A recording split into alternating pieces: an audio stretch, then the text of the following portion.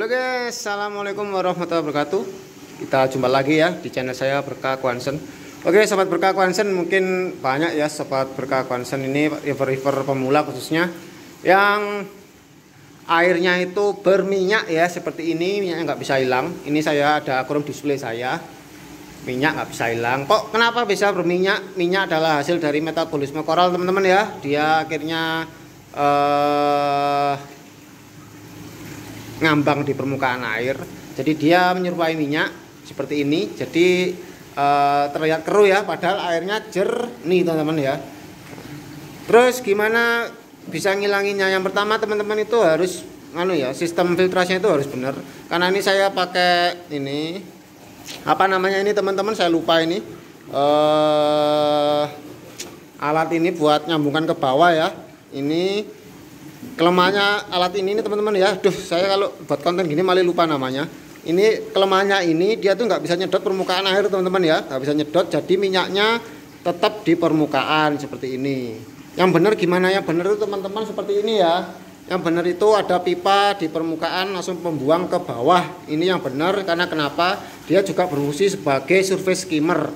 Ingat ya surface skimmer bukan protein skimmer. Kalau protein skimmer itu ini teman-teman ini protein skimmer ya. Buat nyedot kayak gini-gini. Kalau surface skimmer itu sistem surface skimmer itu dia nyedot lapisan minyak di permukaan air biar air terlihat jernih teman-teman. Kalian bisa lihat jernih teman-teman.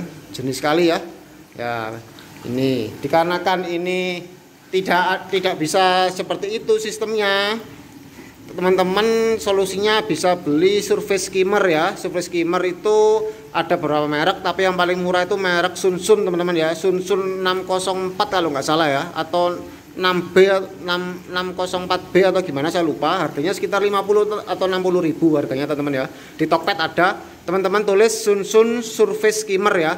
Itu yang paling murah. Jangan beli yang uh, buatan lokal produksi lokal bukannya saya nggak mendukung teman-teman tapi harganya mahal ya ratusan ribu teman-teman. Beli yang tembakan Cina yang mereknya uh, Sun Sun Surface Skimmer itu uh, alatnya kecil teman ya. Alatnya kecil segini. Jadi dia itu ada pompanya kecil ya. Pompanya mungkin 200 liter per jam kecil segini. Jadi dia itu uh, nyedotnya itu dari permukaan air teman ya. Dari permukaan air dia disedot ke ke itu ke dalam apa disemburkan ke bawah.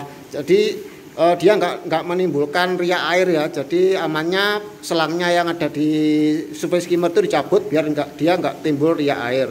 Kemudian solusi kedua teman-teman kalau seperti ini kalau nggak pakai apa namanya surface skimmer teman-teman bisa ngakali dari itu uh, apa namanya outletnya itu ya apa namanya pipa masuknya ini air. Jadi teman-teman ini saya gantung gini teman-teman saya gantung seperti ini minusnya dia nyiprat teman-teman ya nyiprat.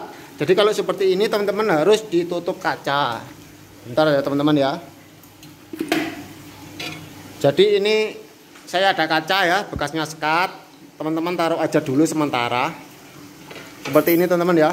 Gunanya kaca ini apa teman? Biar airnya nggak nyiprat ke mana-mana ya biarkan seperti ini satu jam teman-teman satu jam. Insya Allah nanti airnya sudah bersih. Mungkin kelemahannya teman-teman ya yang perlu diperhatikan. Jangan sampai cipratan air ini mengenai koral-koral golongannya LPS ya. Kalau kena apa koral golongannya LPS nanti dia lendirnya semakin banyak karena terikat sama ria-ria air ini ya. Dia kalau untuk kena softis dia aman ya. Ini cengkeh kan softis jadi dia aman terkena softis. Tapi kalau untuk LPS ya hati-hati jangan sampai terkena LPS langsung ya.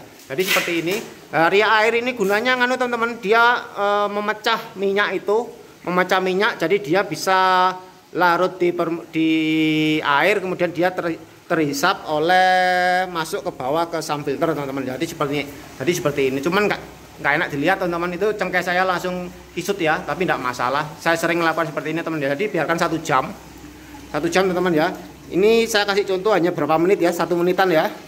Ini saya lepas. Kita lihat setelah satu menit gimana teman-teman ya. Sisi yang sebelah kiri jernih teman-teman ya. Sisi yang sebelah kiri sudah jernih ya. Lah kan sudah jernih yang minyaknya masih ada sebelah sini. Jadi eh, eh, maksimalnya dia 1 sampai 2 jam ya. Tergantung ukuran akuarium. Kalau ukuran kecil gini satu jam dia sudah jernih bening semua teman-teman. Nah ini minyaknya terlihat ada pecah-pecah kan? Nah, jadi dia sudah ada apa namanya yang sudah larut minyaknya. Jadi kita biarkan selama satu jam. Ini saya pasang dulu teman-teman ya kacanya ya. Ini saya pasang dulu kacanya. Emang nanti ini mengganggu teman-teman mengganggu cahaya masuk penetrasi tapi tidak masalah lah.